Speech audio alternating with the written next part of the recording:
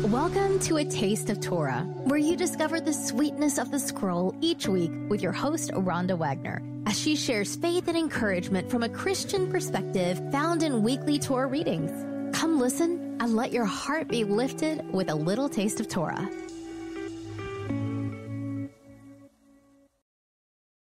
Grace and peace, beloved of God. It's that time again. Let's talk Torah we are about to begin the book of Deuteronomy. And this week's Torah portion is Devarim, which is translated, These are the words. If you've been on this journey of sweetness of the scroll and talking Torah with us, then you know, I mean, this is the last book of the Torah. And so we're so excited to have made it this far. And we are really in um, encouraged and excited to share with you some thoughts around this first um, portion of Deuteronomy. And so let's just get right into it. We kind of have to apologize though, because it is Thursday, and usually we try to get the podcast um, uploaded by Tuesday. But we really had to just take a moment to pause and to ponder exactly what we felt Holy Spirit wanted us to share. And we do believe that we have some encouragement for you from this particular portion. So we pray that you're encouraged. Let's look at Deuteronomy. Um, Devarim covers Deuteronomy chapter 1, verse 1 to chapter 3, verse 22. It's not that long of a portion. And as I mentioned a few moments ago, Devarim means these are the words. And so here we are with Moses and the second generation. And they are right on the border of um, the promised land, Canaan, about to cross over into the Jordan. There's been some battles from the last portion, which Moses will go into. But I want to give you a, just a brief overview of what is going on here in Deuteronomy. And so, Deuteronomy the word itself actually is translated second law. Okay, it's translated second law. It's Greek word for second law, I believe.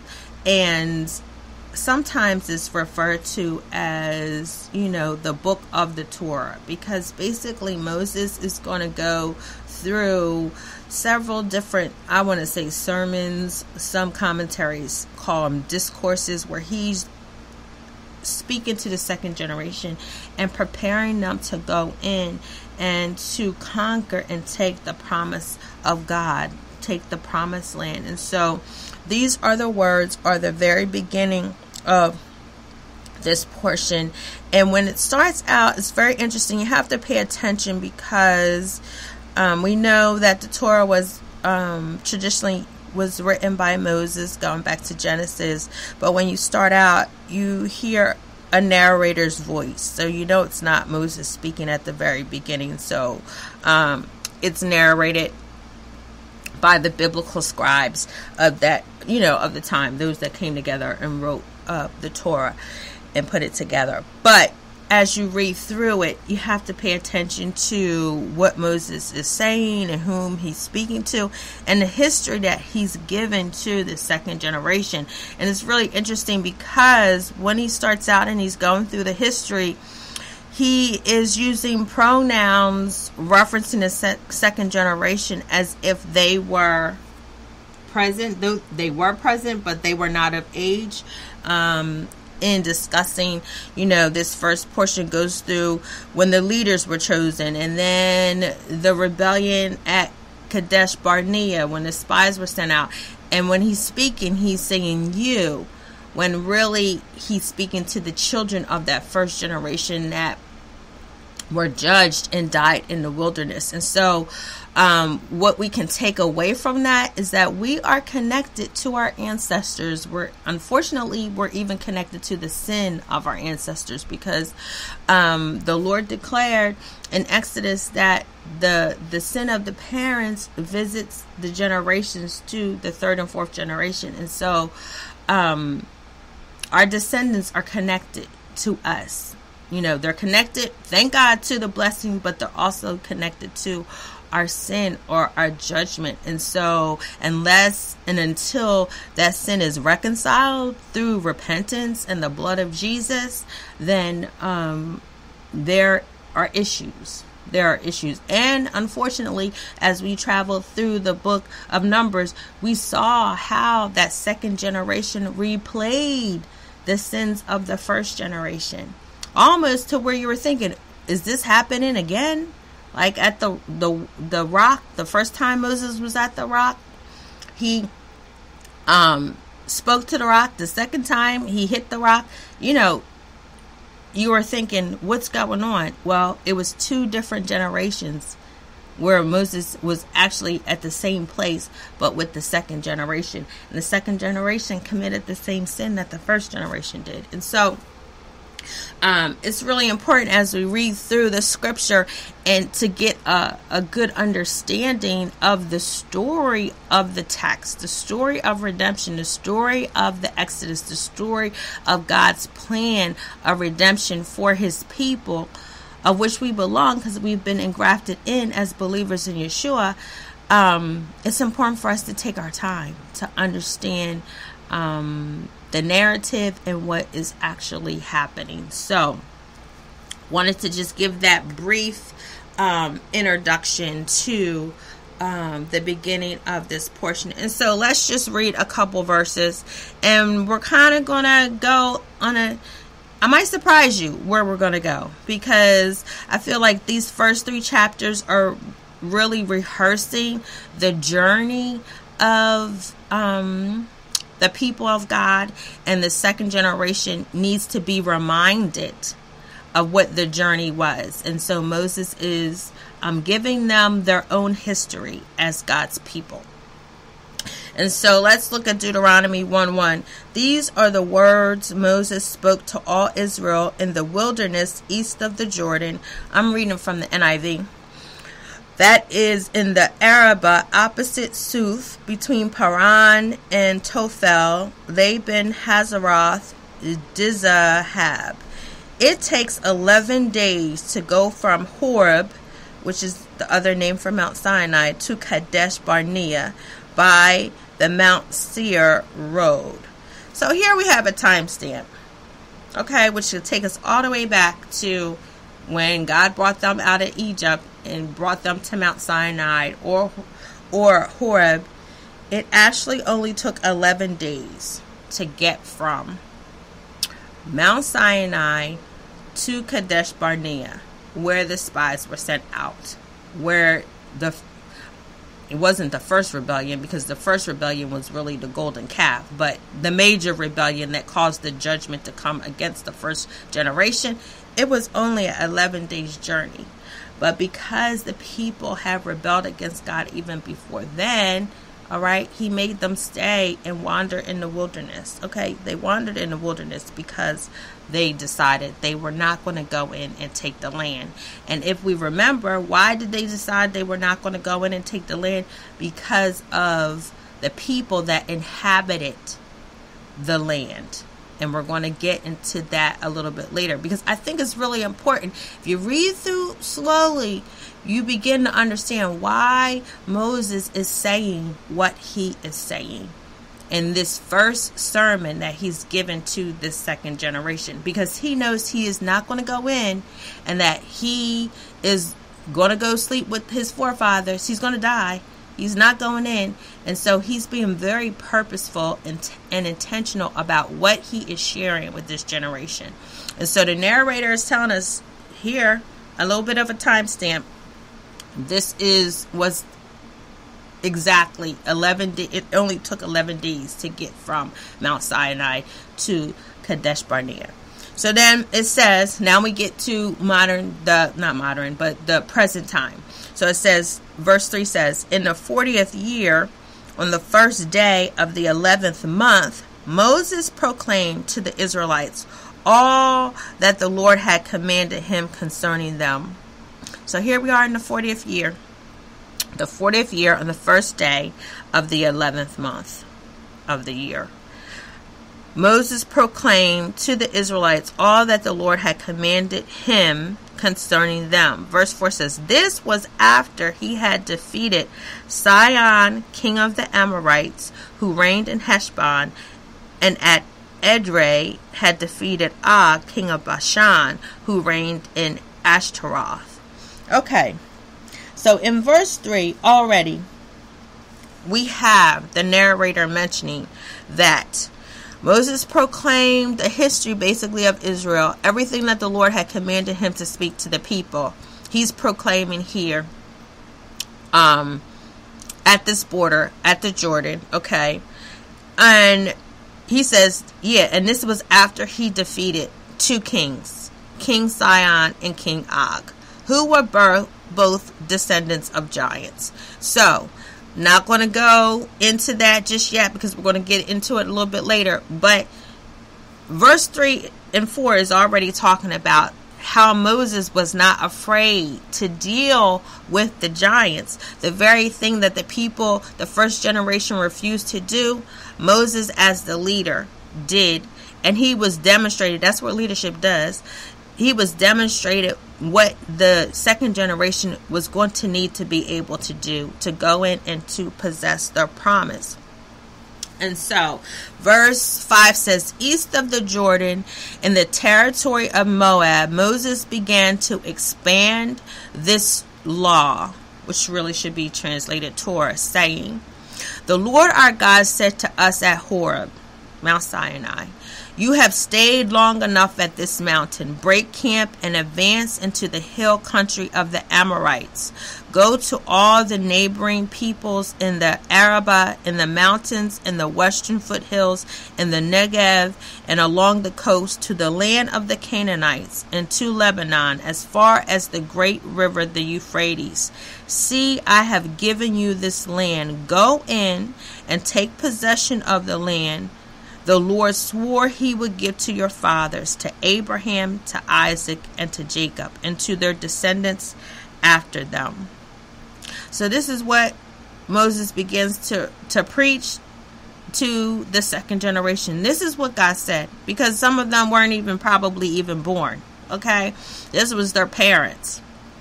All right? So, Moses is telling them, this is what happened when we were still at Mount Sinai after everything had happened and you know they had made the, the tabernacle and it was time to break camp the Lord said okay here we go. You're out. It's time to move. Now all of this is not exactly chronological because we know so much overlaps between Leviticus and and Numbers but just follow along. He's given them the major highlights of their history as in the wilderness, what actually went down. And so then verse 9 says, At that time I said to you, You are too heavy a burden for me to carry alone. The Lord your God has increased your number so that today you are as numerous as the stars in the sky, which was the promise God had given to Abraham back in Genesis. Verse 11 says, May the Lord, the God of your ancestors, increase you a thousand times and bless you as he has promised. So now Moses, as the leader and prophet, proclaims a blessing over the people. Verse 12 says, But how can I bear your problems and your burdens and your dis- disputes all by myself? Choose some wise, understanding, and respected men from each of your tribes, and I will set them over you. And so you remember when Jethro was traveling with Moses, Jethro had told Moses he was a, he needed to, you know, the burden of the people was too much. It was going to be too much for him to handle by himself. So Jethro, who was a priest of Midian and has a, a portion named after himself, really was helping Moses in his leadership and telling him, you got to choose leaders. You got to choose leaders and put them over the people. And so um, Moses is reminding the second generation of what happened. Okay, so let's um, jump ahead a little bit he goes in and just talks about how he charged the judges and, and put them over the people. So let's go to verse 19. Then, as the Lord our God commanded us, we set out from Horeb and went toward the hill country of the Amorites through all that vast and dreadful wilderness that you have seen, and so we reached Kadesh Barnea. Then I said to you, You have reached the hill country of the Amorites, which the Lord our God is giving us. See, the Lord your God has given you the land. Go up and take possession of it as the Lord, the God of your ancestors, told you. Do not be afraid. Do not be discouraged. Verse 22 says, Then all of you came to me and said, See how Moses said, All of you. all of you came to me and said, Let us send men ahead to spy out the land for us and bring back a report about the route we are to take and the towns we will come to. Verse 23 says, The idea seemed good to me, so I selected 12 of you, one man from each tribe. They left and went up into the hill country and came to the valley of Eshcol and explored it. Taking with them some of the fruit of the land, they brought it down to us and reported, It is a good land that the Lord our God is giving us. So that was one part of the report. If you listen to the podcast, we do realize that they gave a good report in the beginning. The fact that the land was good, exactly what God had proclaimed and prophesied over the land and promised to Abraham, was exactly what they had encountered. But then there were some, okay, that after they gave that partial report, they decided to um, give an evil report. And so let's read on. And so this is Moses retelling the history reminding the second generation this is what happened. Yes, it was your parents, but you are also responsible. Okay, because now you're here and you need to know what it's going to take for you to go in and to take the land. Okay, so verse 26 says, But you were unwilling to go up. You rebelled against the command of the Lord your God. This is an example of what I was saying earlier, as in my brief introduction of how he's saying you is really the second generation that he's speaking to. The first generation perished in the wilderness, but they are the seed of their parents. And so they are responsible for this this the sin of their parents. They need they need to have a heart of repentance and to lay hold to the promise of God.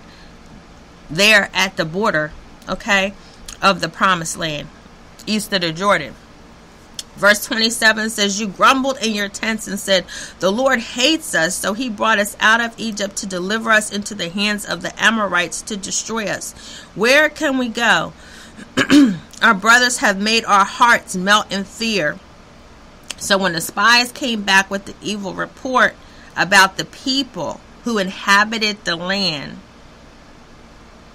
they made the people be afraid and operate in a spirit of unbelief. They say the people are stronger and taller than we are. The cities are large with walls up to the sky. We even saw the Anakites there. So here we go. All right, so already this is verse, let's see, verse 28. We've already had mentioned one, two, uh, Og, Sihon, king of the Amorites, which we will discuss later. The Amorites were a tribe, a clan or tribe that were descendants from the giants, the Nephilim and the Rephaim. King Og of Bashan was a giant, all right, a descendant of the giants. Okay, so we have one, two. Later on, Moses mentioned again the Amorites. All right.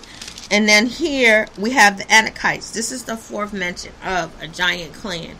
And so, as we begin to discuss this a little bit more, the thing that really jumped out at me about this first introduction or this first portion is how Moses and even the narrator at the beginning, when he introduces Moses, he says, Yeah, Moses proclaimed all this after he defeated the two giants on the, the you know the plains of Moab. Moses was no joke, okay? Moses was like, all right, we're going to have to take care of business. And he was setting an example for the second generation. And he's letting them know listen, we traveled through all this wilderness and this land anyway. We knew the giants were here anyway. So why are we going to shrink back because they're here? All right? They were there.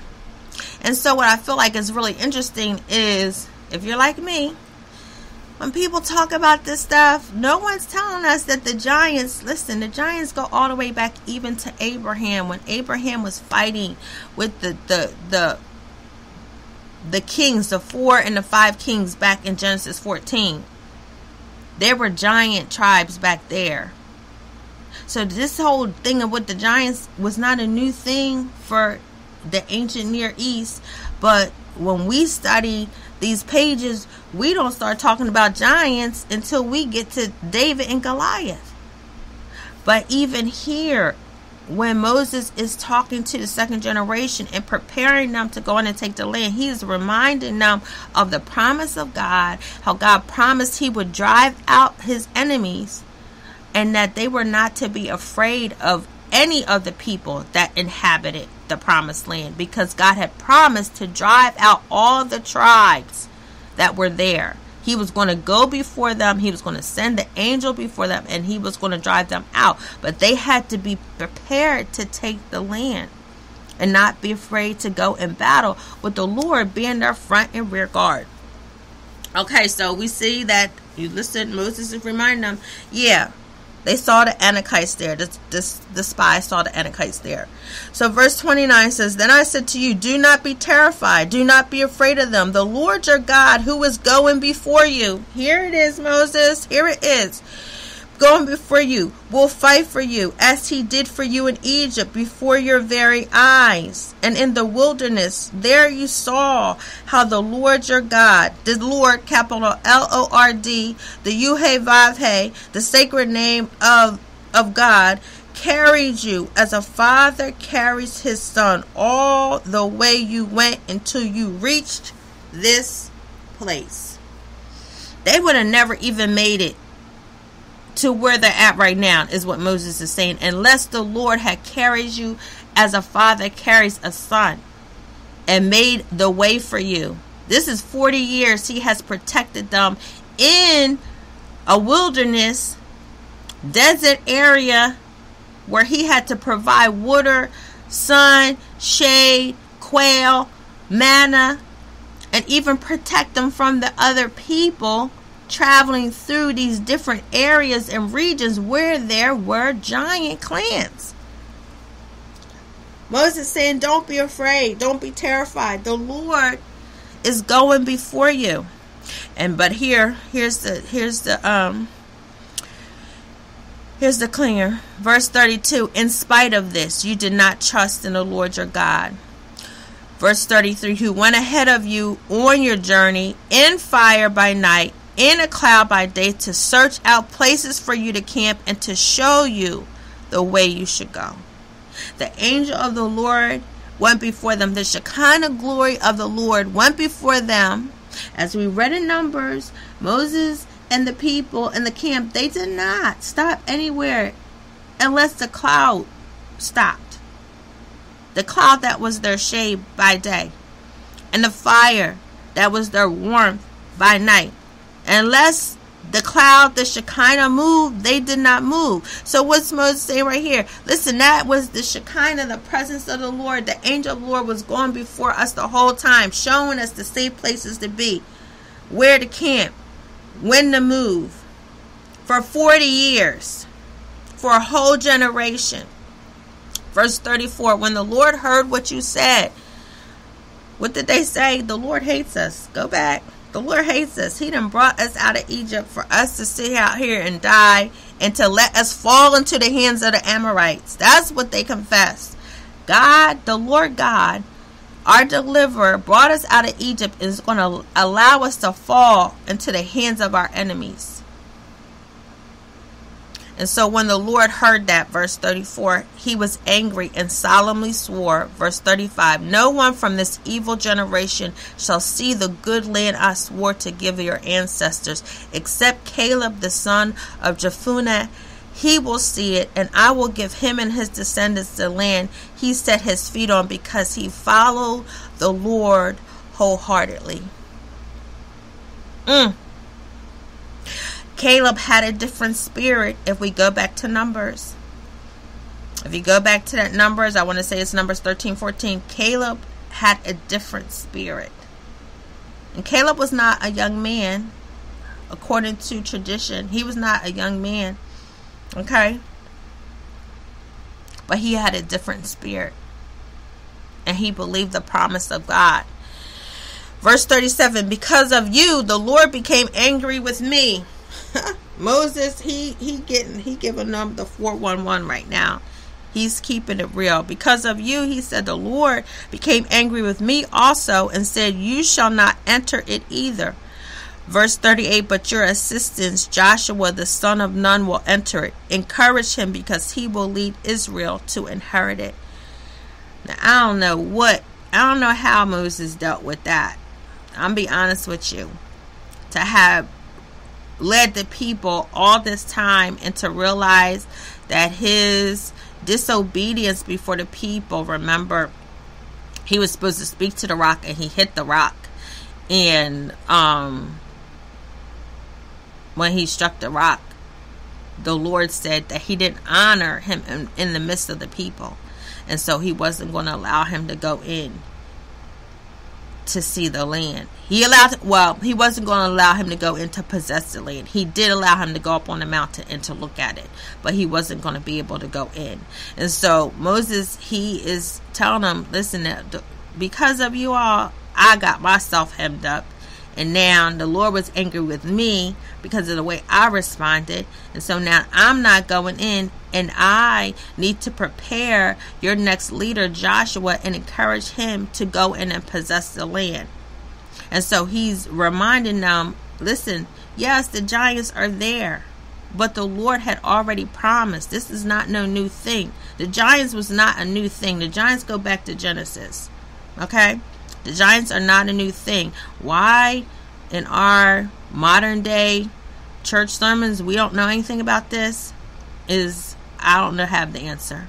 It's you know I recently came across um, you know books and reading about all this. And if you've listened to any of the podcasts, then you know Dr. Michael Heiser and others, even the Bible Project teaches on Genesis 6 and how the giants came into being and the Nephilim and the second generation of the Nephilim was the Rephaim and how these clans continued even after the flood because the flood came to destroy those hybrid races of people.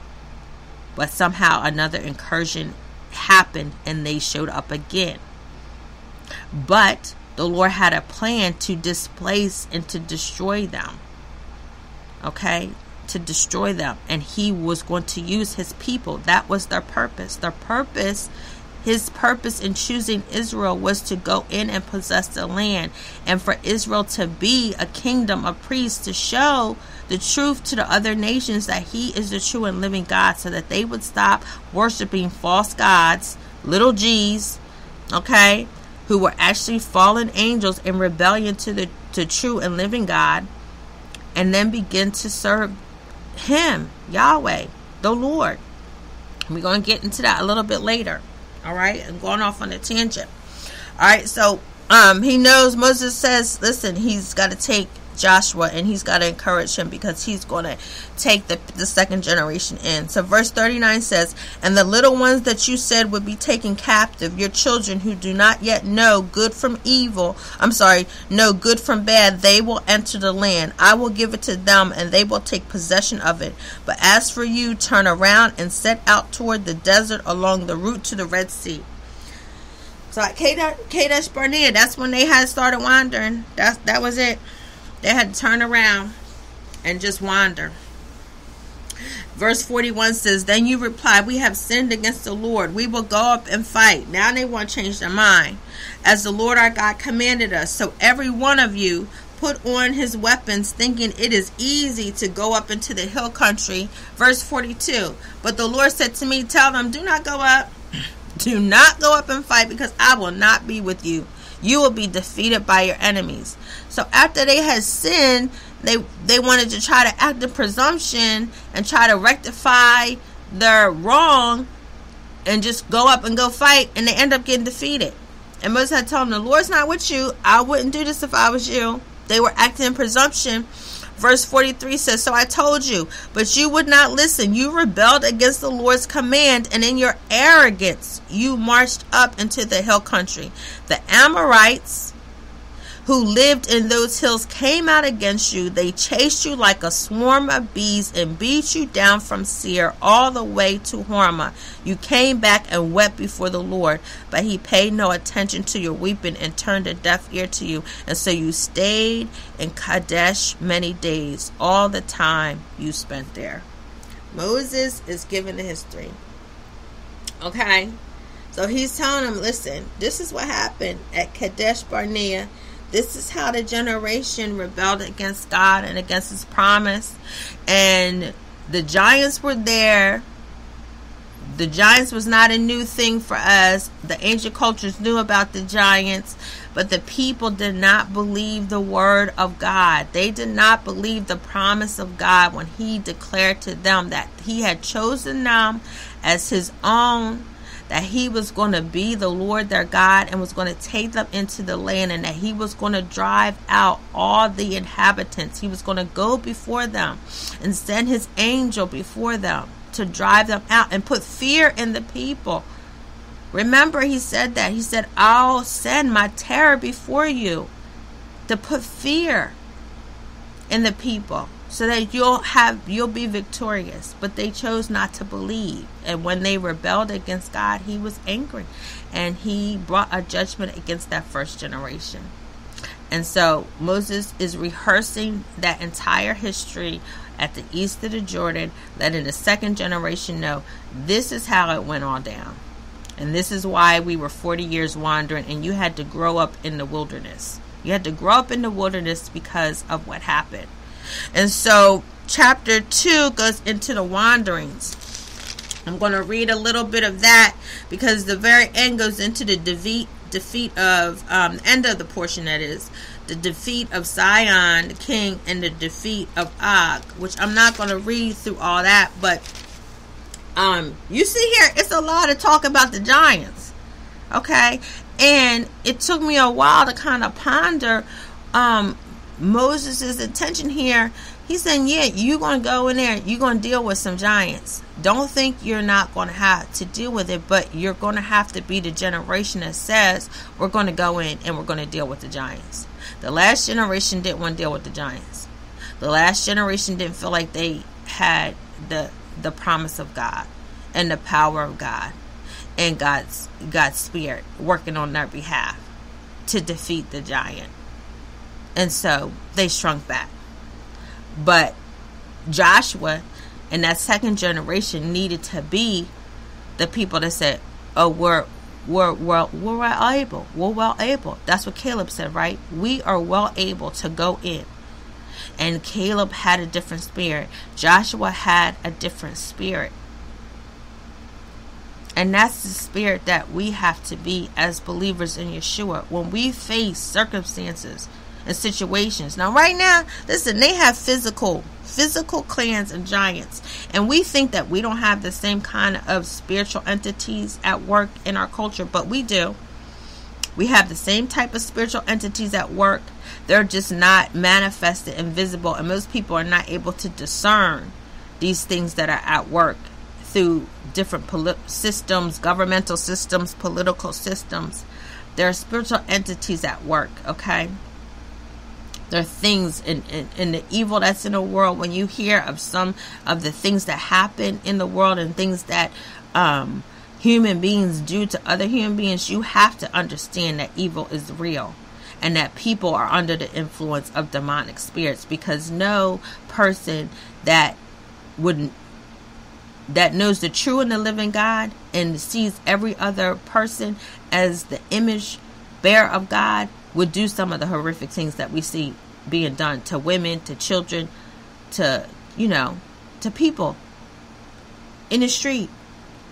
And so we are dealing with these type of giants for lack of a better word. We have giants, but we have to begin to become the people of faith, the kingdom the kingdom people that are willing to face off these spiritual entities and know that the Lord our God has gone before us.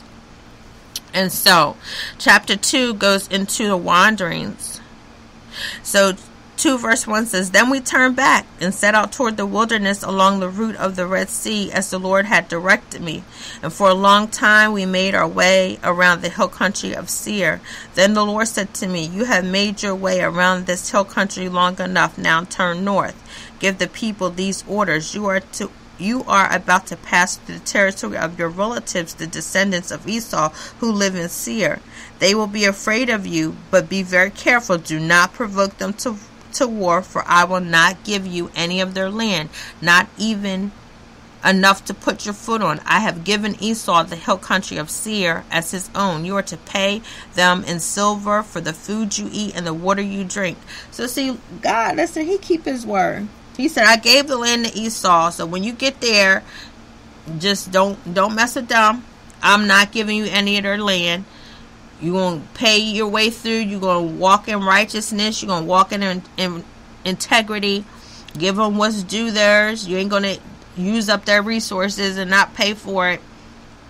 This is how, this is kingdom economics, okay? This is how you do things when you're in the kingdom. You do things in integrity, all right?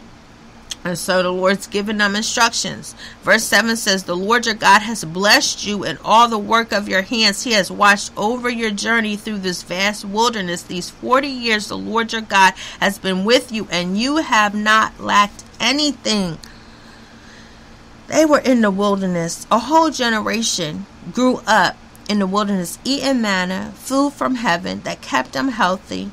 And those that died, they died even either if they end up falling into judgment, example, Korah's rebellion, or the different plagues that came because of sin, or some just died of natural causes. Okay? But it wasn't because the Lord did not protect them, it was because of their own sin and disobedience. The whole time, the Lord protected that second generation because He needed a, a people that would believe him so that they could go in and take the land and be this kingdom of priests that he had covenant with. Remember the ketubah back in Exodus? They had had the covenant meal up on the mountain. This is a covenant that he established.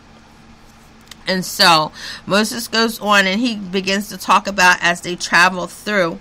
So then he told them, listen, they weren't supposed to, to mess with the Moabites either because some of that land was given to some of Lot's descendants. Then verse 10 says, The Emites used to live there, a people strong and numerous, as tall as the Anakites. So here we have another tribe that showed up.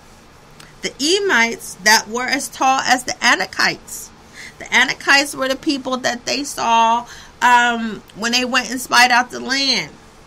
We know that, that Moses, they had already defeated um, Sihon and Og okay, on the border on the plains of Moab. So here we have another tribe, the Emites. And then verse 11 says, like the Anakites, they too were considered Rephaites, which means they were descendants. Descendants of the Rephaim. Rephaim is another term for the second ge- generation of the giants. So, first it was the Nephilim that were the first offspring of the sons of God, the fallen angels that slept with the women back in Genesis 6 had the Nephilim, and then the descendants of the Nephilim were the Rephaim, which sometimes were referred to as the Rephaites. But the Moabites called them the Emites, so they had a different name, is what Moses is saying. They had different terms, different um, clans, tribes had different names for these clans of giants. Verse 12 says, The Horites used to live in Seir, but the descendants of Esau drove them out. They destroyed the Horites from before them and settled in their place, just as Israel did in the land the Lord gave them as a possession. So God had empowered Esau to deal with some of the tribes, the Horites that were there and inhabiting the land as well. Verse 13 says, And the Lord said, Now get up and cross the Zered Valley. So we cross the valley Verse 14 says, 38 years passed from the time we left Kadesh Barnea until we crossed the Zered Valley. By then, the entire generation of fighting men had perished from the camp, as the Lord had sworn to them. The Lord's hand was against them until he had completely eliminated them from the camp. Now, when the last of these fighting men among the people had died, the Lord said to me, Today you are to pass by the region of Moab at Ar. And when you come to the Ammonites, do not harass them or provoke them to war, for I will not give you possession of any land belonging to the Ammonites. I have given it a possession to the descendants of Lot. That too was considered the land of the Rephaites. Moses is referring to the giants again who used to live there, but the Ammonites called them the Zamzummites. This is another giant clan people. They were a people strong and numerous, as tall as the Anakites, and the Lord destroyed them from before the Ammonites. Okay? He destroyed them, who drove them out and settled in their place. The Lord had done the same for the descendants of Esau who lived in Seir when he destroyed the Horites from before them. So, what is Moses saying? He's saying, look, he's referring to Esau, who wasn't even the favorite son. Okay? They are the descendants of Jacob, those that have the promise. But because the Lord had even made a promise to Esau, he helped Esau's descendants drive out the giants. And Lot, who wasn't even favored, Abraham was the favored one because he was descendant, you know, of Abraham. He was his nephew. He even favored him. He favored him and allowed his descendants to drive out the clan. So what is Moses saying? He's saying, look, our other relatives, cousins,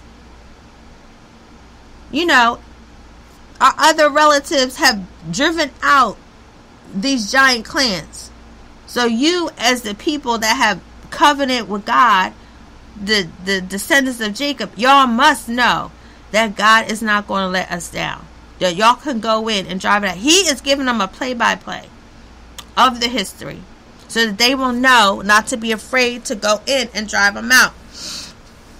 Okay, I'm reading a little bit more. I'm going to go back to verse 22. The Lord had done the same for the descendants of Esau who lived in Seir when he destroyed the Horites, Horites from before them. They drove them out and have lived in their place this day. And as for the Avites who lived in the villages as far as Gaza, the Caphtorites coming out from Caphtor destroyed them and settled in their place. And then he goes into the defeat of Sihon the king and Heshbon. And then verse 3, I mean, chapter 3 goes in a defeat of Og, the king of Bashan. I don't have time to go into all that. I'm going to stop right there because then you can read the rest for yourself and see how Moses, he is giving this is like a pep rally. This is like a pep rally where he's going through and he's telling them all the history of the giant slayers. okay? The giant slayers. You're going to have to be those people that decide to go in and slay the giants and know that God is with you. That the Lord Yahweh, what He has promised, He's able to perform. And so it's very interesting. I mean, you kind of, when you read through, you think, all right, well, Moses is just, he's just rehearsing the whole thing. He's going back through the whole history. But then when you begin to see exactly what's narrated and what, what, what, um, biblical accounts are being shared, you see that Moses has an intent in this first sermon that he's given to the second generation. He's saying, listen, you got history, okay? Even your cousins was able to go in and take care of business. So you need to be those people that saying, we're going to take care of business. They don't even have the blessing. Esau did not have the blessing. But God kept his promise. He allowed Esau. He said Esau could have the land. He did give him something. Jacob had stole the blessing. Okay? But Jacob was the favored one. He was the favored one. Esau gave up his birthright. He sold it for the, the stew. Okay? And that had grieved God's heart. But even so, even in that, God still allowed him to drive out the giants that has so distorted creation, the hybrid races, the hybrids that was that was set on destruction, okay? He had turned them over and allowed Esau and his descendants to take them out. Why? Because God was trying to cleanse the people from serving these false gods. False gods, not in the sense that we think they're not real. False gods in the, in the sense that they were fallen angels who walked away from their original assignment that God had given them to watch over these nations and people and allowed the people to begin to worship them. All right, I don't have time to go into all that. I'll put some links. I'll put some links in the chat to some resources. I always try to give y'all resources that I feel like will be informative and open up your understanding around the scriptures because listen, I know I'm telling the truth when I tell you that up until maybe five, six years ago, and I had listened, even listening and, and listening to people teach the Torah, people will do not talk about all these giants that Moses is is naming out and calling out.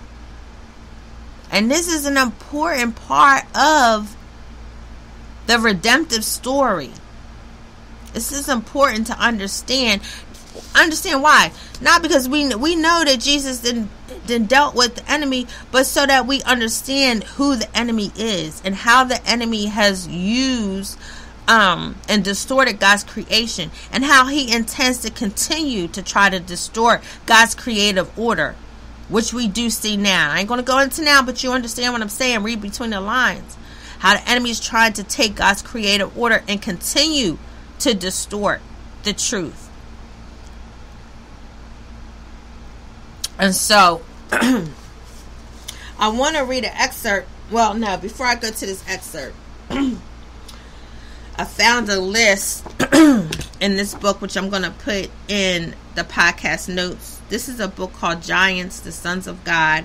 Very good resource. I haven't read through the whole book. I kind of use it like as, as, a resource. I go and read certain chapters or whatever. But this is by Douglas Van Dorn, who actually wrote the um um I got to look it up because I don't want to give it to you wrong. He wrote the um, question and answer companion to the unseen realm.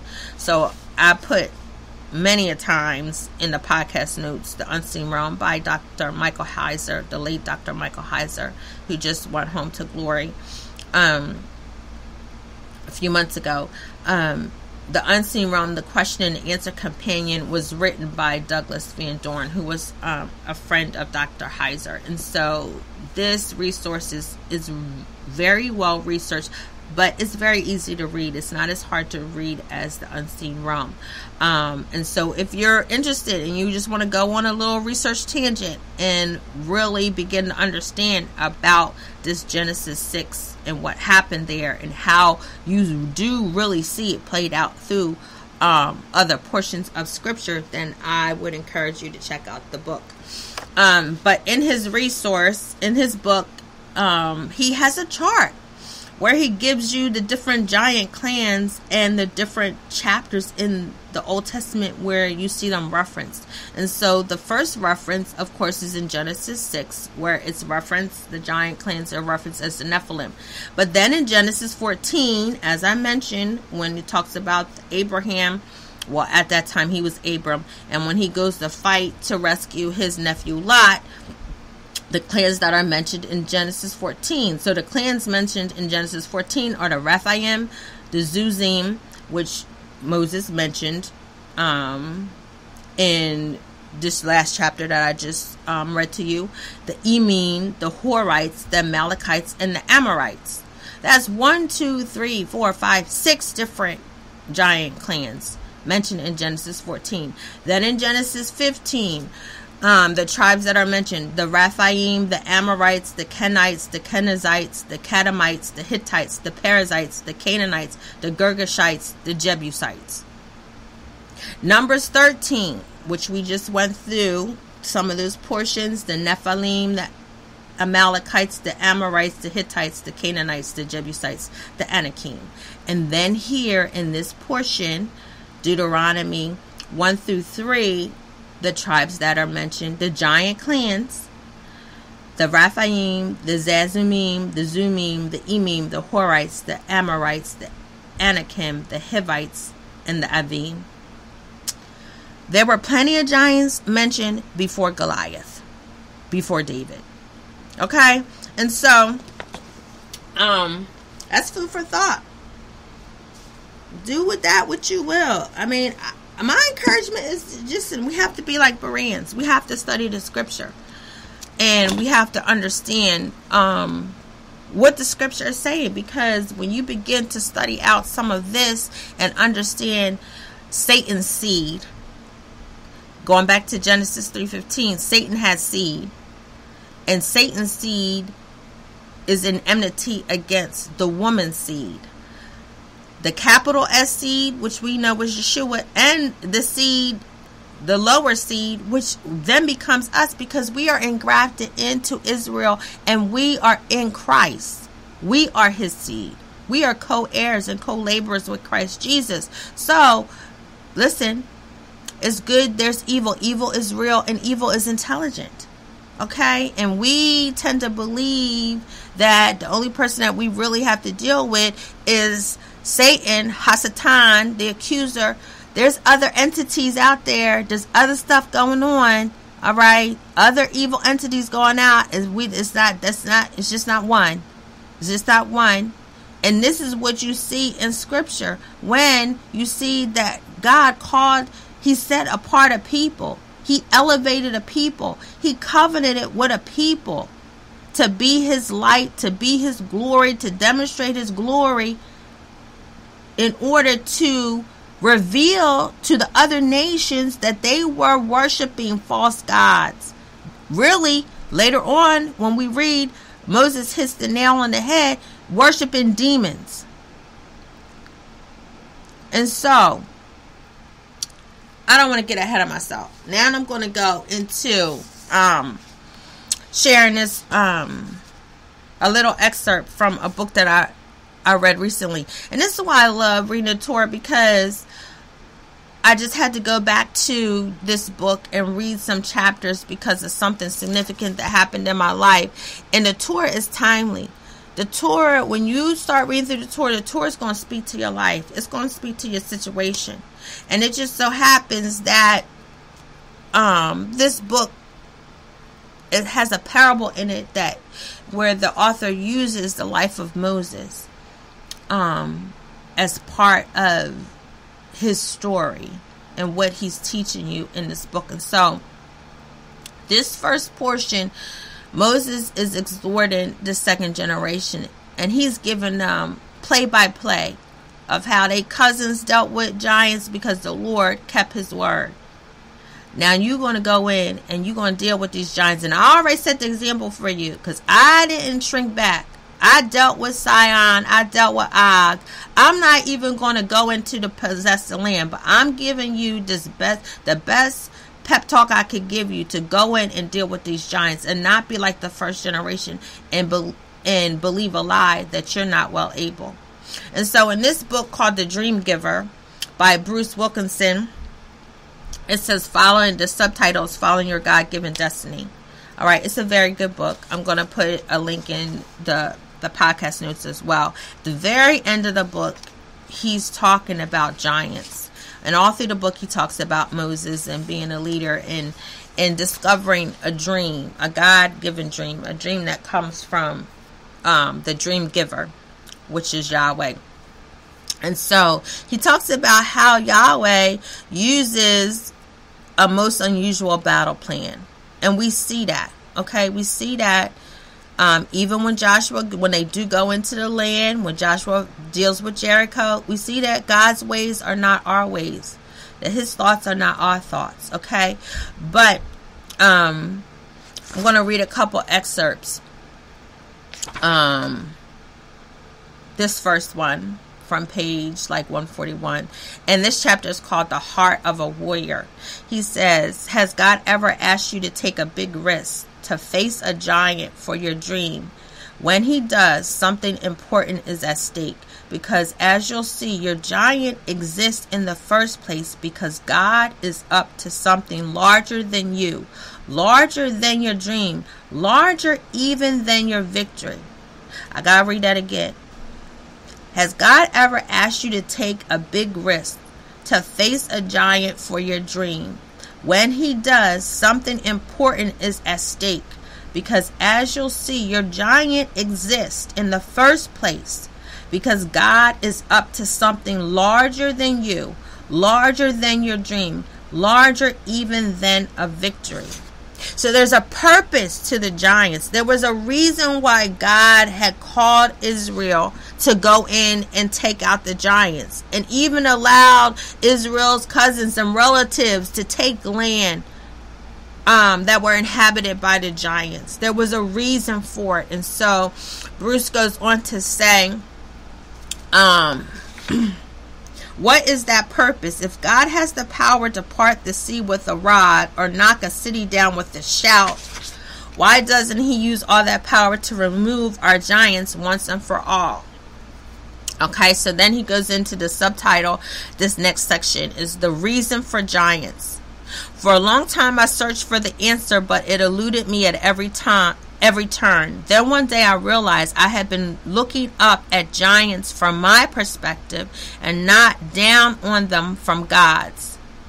The occasion was a conference for several hundred dreamers in South Africa, and I was in the middle of presenting statement by statement a list of what God had said about why He sometimes chose to perform miracles to defeat Israel's giants. So there was a reason for God choosing Israel to go in and to defeat the giants and to make the decision to allow him to go before them. There was a reason for it. And so this is what Bruce begins to write. Suddenly, a pattern of truth emerged, a pattern I had somehow missed before. Look at the recurring message in these verses. Okay, and then he begins to quote verses. And if you've been listening to the podcast, then some of these verses will resonate with you. All right, here's the first verse. Then you shall know that I am the Lord your God who brings you out. Then you shall know that I am the Lord your God that brings you out. That is taken from Exodus 6 7. I hope I'm giving you the right the right quote. Let me just double check. I don't want to give you the wrong verse. I don't want to give you the wrong verse. This is so good. This is so good. This is so good. So this is this is the revelation that Bruce received about giants. This is the revelation that Bruce received. Why God allowed Israel to be used to drive out the, the giants and why God asked us to take big risks and to face off our giants so that we could do what? So that we can demonstrate, so that you shall know that I am the Lord your God who brings you out. And that's Exodus 6 7. His next verse is that you may know that there is none like me in all the earth. And that's Exodus 9 14 that my name may be declared in all the earth. And that's Exodus 9:16. That you may tell in the hearing of your son and your son's son the mighty things I have done in Egypt, that you may know that I am the Lord. That's Exodus 10:2. I will gain honor over Pharaoh. Then the Egyptians shall know that I am the Lord. That's Exodus 14, 17, and 18. Then all the peoples of the earth may know the hand of the Lord, that it is mighty. That's Joshua 424. These are all scripture references that Bruce says this is why you have to face off your giant. This is why God calls us to do things that are beyond our own understanding, that are beyond what we feel like we can even accomplish, that require his divine intervention, that require his favor, so that the people will know that he is God, so that we will know that he is God and that he's our deliverer and that he brings us out and that he opens doors that no man can shut. And so when he Moses is given this this this sermon to the second generation. He's recounting all these battles. He's recounting his battle. He's recounting what Esau did. He's recounting what the descendants of Lot did. He said, Listen, our cousins, listen, our relatives, they didn't even have the blessing that you have. And they were able to go in and face off the giants. Now you go and, and lay hold to the promise. Take the word of the Lord. The word of the Lord was going before them. The Shekinah glory was going before them. And what Bruce showed show is showing us in this in his revelation is that the purpose of the giants is to display the glory of God. When God gives you something to do that's beyond what you feel you could do, it's so that his glory can be revealed. It's so that his glory can be revealed. It's bigger than the dream. It's bigger than your obedience. It's bigger than the assignment. It's bigger th- even than your victory. It's so that His glory can be revealed and so that people will come to the saving knowledge of Yeshua and know that He is the true and the living God. That is all that I have for you today. I pray that you are encouraged and that you hear the Spirit through these words that I'm sharing. That God has called you to be a giant slayer. And you facing off your giant has more to do with His glory being revealed in and through you than you even understand. But if you have ears to hear and that you have a heart that will just submit His purpose in your life, that you can be a giant slayer and the glory of God can be revealed through your life in one simple act of faith and obedience. If you'll just have the spirit like Caleb had and the spirit of Joshua, you'll operate in a different spirit and just follow the word of the Lord. Follow what Yahweh has spoken to you wholeheartedly and don't be afraid. Be courageous and go and slay the giant and give Yahweh the glory that is due his name. The Lord bless you and keep you. The Lord make his face shine upon you and be gracious unto you. The Lord lift up his countenance upon you and give you his peace, his shalom, and write his name upon you. Thank you for listening and see you next week for another taste of Torah. For deeper study, join our online Torah study, Sweetness of the Scroll, by visiting our website at wordofencouragement.org.